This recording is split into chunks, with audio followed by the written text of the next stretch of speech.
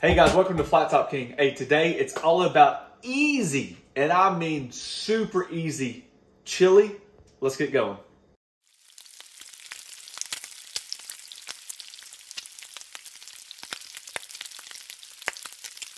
All right, when I talk about super easy, I'm talking about this isn't like the long drawn out make the beans from scratch, hack half of a cow up, all that stuff. So I just got some standard uh, canned items, some ground beef, some seasoning mix, and a little things that we do along the way to make this super, super, super easy.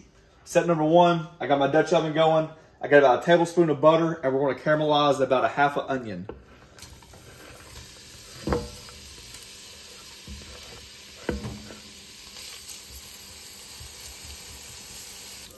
All right, not too much longer after that, you guys can see they were getting a nice char on these onions. This is the natural caramelization process.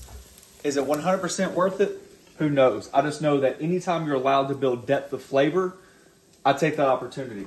So the reason why I mention that is because ground beef. A lot of times, if you guys haven't seen it, I think it was on my easy beef and cheese enchiladas that once you take ground beef, or it could have been the pasta, I don't know, one of them. I'm always a big fan of not just browning your ground beef and draining it right away. I want to brown the ground beef, and as the fat comes through it, that's another layer of flavor that you cannot replicate.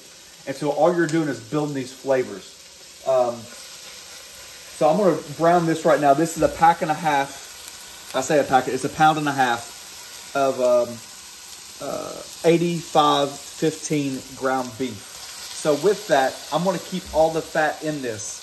So once we get to the browning stage, everything's done. We're to come back and I'm to show you how much more longer we keep it in the fat and what happens to it. All right, here we go. So you guys notice the moisture's evaporated out. Now the ground beef is just frying in its own fat.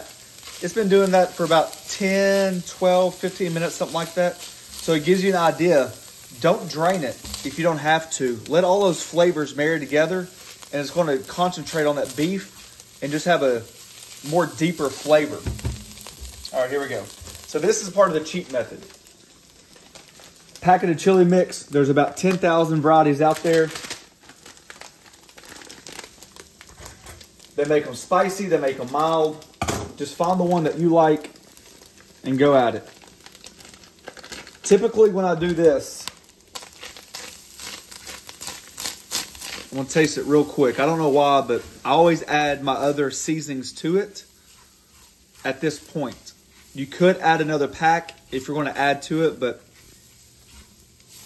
this at least gets you over the hump. This is why it's called easy.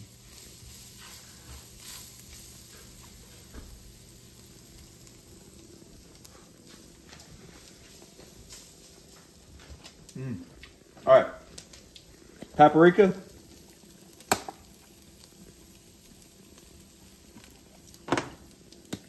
Some oregano. Not much on that. Chili powder.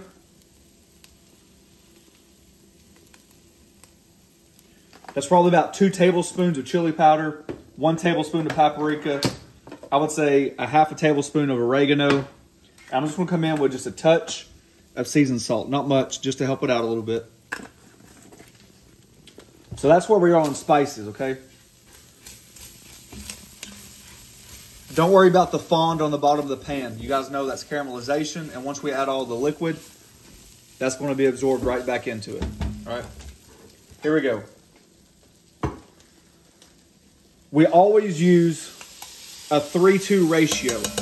No matter what you decide to put in your chili, we use three cans of beans to two cans of tomatoes, always. And the rest of it is really up to you. Heck, whatever beans you use is up to you. Pinto and kidney for us. And you did not drain the beans. No, I don't.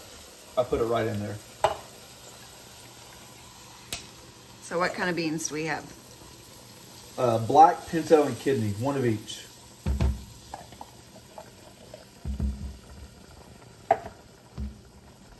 These are those leftover green chilies we had on that green chili cheeseburger. I'm just gonna throw those in there. Not much heat at all. Is that about one can? Uh, no, that's probably way less. That's probably half of a small can. I just did it to get it out of the freezer. All right, here we go. Last, the last step. Basically, as you know, chili, there's basically two options: what your kids like and what you like, and then it's how thick you like it. We prefer thick chili. That's just my opinion. But my kids will not eat tomatoes in chunks. So I've got to take the next step. And so what I do, I just take the, the tomatoes that I like. I just happen to use stewed and that stuff right there. There's all different types of varieties out there, but like I said, the most important thing is your ratio of three beans, two tomatoes,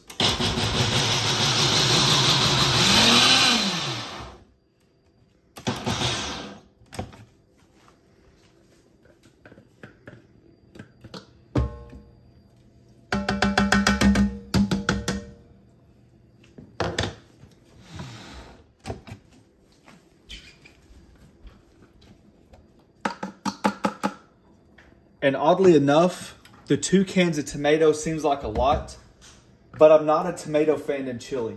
I think it's got to be balanced. So these are the two cans that I like to use. And the kids can't see a chunk of tomato. No, they cannot complain. So basically this is it. Once you bring this up to temperature, your chili is done. Now what I do to let it go further I keep it on a good low heat. You guys can see it's about 147 our time. And I'm gonna let this go for about an hour on medium low stirring, not constantly, but occasionally so it doesn't stick to the bottom. And we're gonna reduce this down. But you guys can see how hearty and meaty that is, how thick it's getting. Once you reduce it down, it's gonna get a little bit thicker. That's just taking the natural moisture out of the beans and out of the tomatoes. We'll show you guys the final product, but other than that, that's it. All right, there you go, guys. It's uh, cooled down just a little bit. We've reduced it for about an hour and a half. Like I said, I like my chili a little bit thicker. And you can see, look at all that. Mmm. Mm-mm-mm. Now, anybody knows that this bite's going to be hot as sin, so...